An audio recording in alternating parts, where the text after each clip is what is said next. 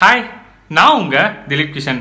நேற்று முதலமைச்சர் ஒரு ப்ரெஸ் மீட் என்ன சொன்னாருன்னா நாங்கள் அரியர் எக்ஸாம் கேன்சல் பண்ணது பண்ணது தான் இதில் வந்து எந்த மாற்றமும் கிடையாது அப்படின்ற மாதிரி அவர் ஸ்ட்ராங்காக சொல்லியிருக்காரு இன்னொன்று அவர் என்ன சொன்னாருன்னா நாங்கள் வந்து இந்த யூஜிசி கைட்லைன்ஸ் படி தான் வந்து இந்த முடிவு எடுத்திருக்கோம் தவிர நாங்கள் தன்னிச்சையாக இந்த முடிவு எடுக்கல அப்படின்ற மாதிரி அவர் சொல்லியிருக்காரு ஸ்டூடெண்ட்ஸ் நீங்கள் வந்து யாருமே கஷ்டப்பட வேண்டாம். அதாவது வந்து எக்ஸாம் வைப்பாங்களா வைக்க மாட்டாங்களா அப்படின்ற மாதிரி நீங்கள் எந்த கஷ்டமே பட வேண்டான்ட்டு நம்ம முதலமைச்சரே சொல்லியிருக்காரு ஸோ நீங்கள் வந்து இன்னும் ஒரு டூ வீக்ஸ் அதாவது வந்து கோர்ட்டில் இப்போ வந்து இந்த நியூஸ் போயிட்டு இருக்கிறதுனால கண்டிப்பாக பார்த்தீங்கன்னா இன்னும் ஒரு டூ வீக்ஸில் உங்களுக்கு ஒரு நல்ல ரிசல்ட்டாக அதாவது வந்து பாசிட்டிவான ரிசல்ட்டாக கிடைக்கும்ன்ட்டு நம்ம எல்லாருமே எதிர்பார்க்கலாம்.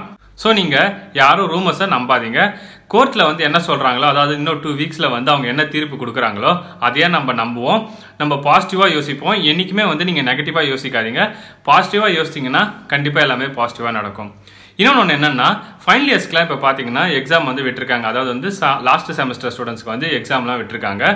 நீங்கள் வந்து கஷ்டப்பட வேண்டாம். அதாவது வந்து இது வரைக்கும் என்ஜினியர் ஸ்டூடெண்ட்ஸ் யாருமே வந்து ஆன்லைனில் எக்ஸாம் எழுதுனது கிடையாது. இதான் வந்து அவங்களுக்கு ஃபர்ஸ்ட் டைம் ஸோ நீங்கள் வந்து கஷ்டப்படாதீங்க. இந்த எக்ஸாம் எப்படி தான் இருக்கும் ஈஸியாக இருக்குமா? இல்லை கஷ்டமாக இருக்குமா? அப்படின்லாம் நீங்கள் யோசிக்காதீங்க.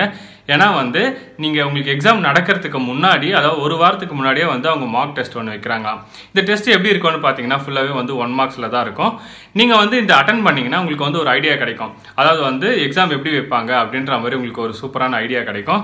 ஸோ நீங்கள் இந்த எக்ஸாம் அட்டன் பண்ணிங்கன்னா உங்களுக்கு ரொம்ப யூஸ்ஃபுல்லாக இருக்கும். நீங்கள் என்றைக்குமே பயப்படாதீங்க. அதாவது வந்து ரொம்ப இதுவாக ஸ்ட்ரிக்டாக இருக்குமா? இந்த கொஷின்ஸ்லாம் வந்து ரொம்ப டஃப்பாக கேட்பாங்களா? அப்படின்றலாம் நீங்கள் யோசிக்காதீங்க. ஏன்னா நம்ம சுச்சுவேஷன் வந்து நம்மளுக்கு எல்லாருக்குமே தெரியும். ஸோ உங்களுக்கு வந்து கொஷின் ஈஸியாக கேட்கறதுக்கு நிறைய வாய்ப்புகள் இருக்குது நான் மறுபடியும் சொல்கிறேன் அரிய ஸ்டூடெண்ட்ஸ் நீங்கள் யாரும் வந்து எந்த ரூமர்ஸையும் நம்பாதீங்க. அதாவது வந்து ஒரு ஒரு சேனலில் ஒன்று ஒன்று போடுறாங்களே அதெல்லாம் நீங்கள் நம்பவே நம்பாதீங்க. இன்னும் ஒரு டூ வீக்ஸில் பார்த்தீங்கன்னா கோர்ட்லேருந்து ஒரு நல்ல ரிசல்ட்டாக வரணுன்ட்டு நம்ம எல்லாரும் எதிர்பார்க்கலாம். உங்களுக்கு ஏதாச்சும் டவுட் இருந்ததுன்னா கீழே இருக்க கமெண்ட் செக்ஷனில் கமெண்ட் பண்ணிங்கன்னா கண்டிப்பாக நான் உங்களுக்கு ரிப்ளை பண்ணுவேன். இந்த வீடியோ உங்களுக்கு பிடிச்சதுன்னா லைக் பண்ணுங்கள் ஷேர் பண்ணுங்கள் கமெண்ட் பண்ணுங்கள் மறக்காமல் சப்ஸ்கிரைப் பண்ணுங்கள் தேங்க்யூ